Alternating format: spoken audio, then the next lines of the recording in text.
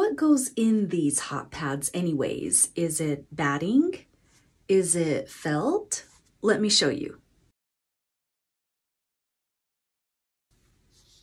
Step one is your back fabric, and then your warm and natural,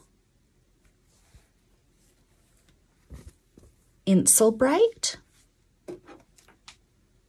warm and natural, and then your top fabric. If you want to make this hot pad, go ahead and click on the link in the descriptions because I have put together a full tutorial. And if you like this video, give me a thumbs up and hopefully you subscribe to my channel. Thank you. Have a good day.